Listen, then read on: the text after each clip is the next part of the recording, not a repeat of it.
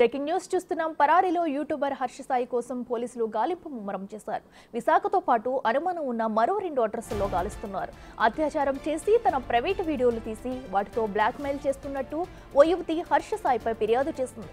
దీంతో పోలీసులు కేసు నమోదు చేసి విచారిస్తున్నారు. ఈ కేసులో హర్ష సాయితో పాటు హైదరాబాద్కు చెందిన మరో యూట్యూబర్పై కూడా బాధితురాలు పోలీసులకు ఫిర్యాదు చేసింది.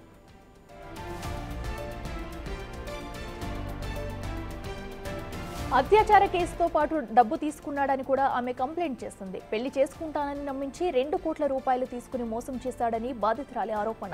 అడ్వకేట్తో కలిసి నార్సింగ్ పోలీస్ స్టేషన్లో ఫిర్యాదు చేసింది హర్ష తండ్రి రాధాకృష్ణపై కూడా కేసు పెట్టింది. బాధితురాలు ఫిర్యాదుతో అతనిపై పలు సెక్షన్ల కింద కేసు నమోదు చేశారు పోలీసులు.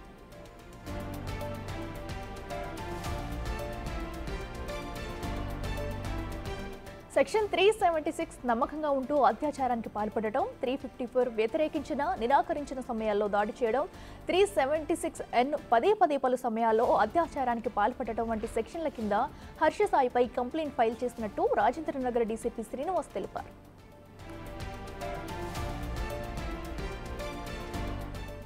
అయితే బాధితురాలికి సొంత ప్రొడక్షన్ హౌస్ ఉంది. ప్రియుడు హర్ష సాయితో కలిసి ఓ సినిమా కూడా నిర్మించింది. శ్రీ పిక్చర్స్ బ్యానర్లో హర్ష సాయి హీరోగా మెగా అనే మూవీని నిర్మించారు. కానీ ఆ సినిమా మధ్యలోనే ఆగిపోయింది.